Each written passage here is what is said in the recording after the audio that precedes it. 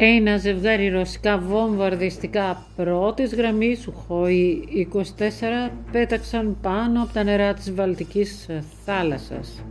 Η πτήση πραγματοποιήθηκε σε εξαιρετικά χαμηλό ύψος και κατά τη διάρκεια της εξασκούσαν πλήγματα εναντίον πλοίων του ΝΑΤΟ. Αφού τα ρωσικά μαχητικά αεροσκάφη βρίσκονται ελεγχόμενα από τα συστήματα εράμινας. Η στιγμή της διέλευσης των ρωσικών βομβαρδιστικών καταγράφηκε από τις πολωνικές αρχές.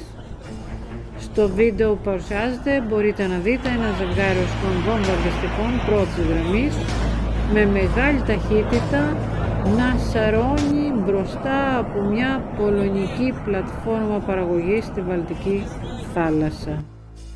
Ταυτόχρονα το ύψος πτήσης των ρωσικών πολεμικών αεροσκαφών είναι πολύ χαμηλό γεγονός που δηλώνει ότι ασκούνταν λιγμοί με αντεπίθεση στα μέσα εντοπισμού του εχθρού.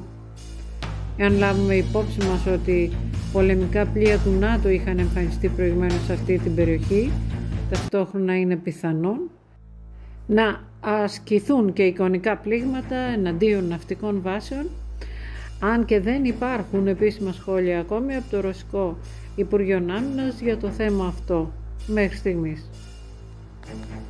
Για έγκαιρη και έγκυρη ενημέρωση εγγραφείτε στο κανάλι και κοινοποιήστε τα βίντεο.